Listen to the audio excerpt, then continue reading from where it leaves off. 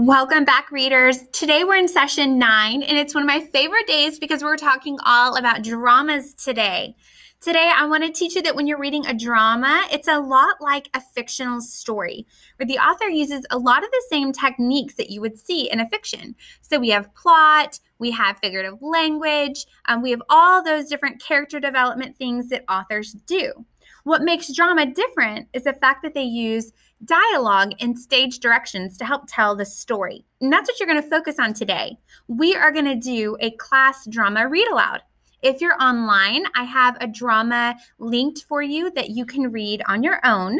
But I want you to pay attention to how the author uses those things to develop plot. So you're going to pay attention today to mood, tone, and plot as we read. So playwrights are what we call authors who write um, dramas. They use the stage directions and dialogue to create tension and action in the written work to really help you paint that mental mo- movie as you're reading. The stage directions tell the actors when to enter and exit the scene, where to move on stage, and how they're supposed to say um, their actual dialogue. So look for those cues as you're reading. Sometimes they're italicized or put in parentheses or bolded. So kind of look for those um, cues and signals to the actors as you're reading.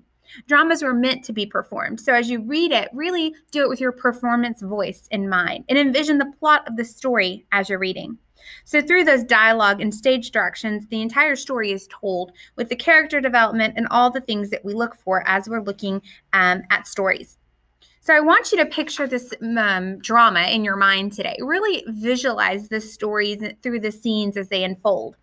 And think about the roles of the characters and why they're included in this story. Each character has a purpose for being in this story.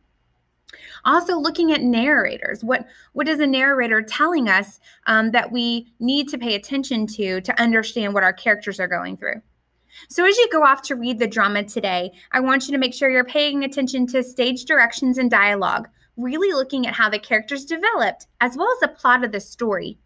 For your share time today, you're going to use the plot diagram that's linked in Canvas, and you're going to mark the major events in your play that you read. Like, what did you realize was part of the rising action? What was the big climax, the turning point of the story? And how did the story end? So go back into your drama as many times as you need as you're filling in the plot diagram. And as you read today, make that mental movie, create or create the scenes in your mind as they're unfolding. Pay attention to what the author, the playwright added in the play for you as the reader to enjoy. And really focus on what is the mood and tone that the author's conveying.